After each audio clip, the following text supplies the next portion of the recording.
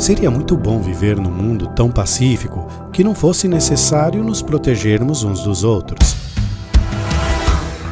Mas sabemos que infelizmente a vida não é assim.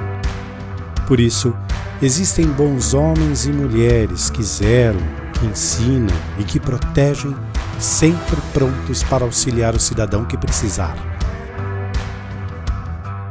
A Prefeitura de Cosmópolis parabeniza hoje cada um de vocês, policiais municipais, cada dia mais capacitados e prontos ao seu serviço. Saudações Azul Marinho.